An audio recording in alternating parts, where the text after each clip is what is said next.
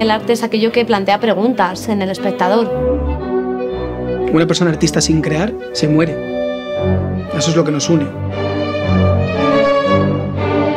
¿Por qué no dirigir mi camino hacia eso si realmente es lo que nunca me voy a aburrir de hacer?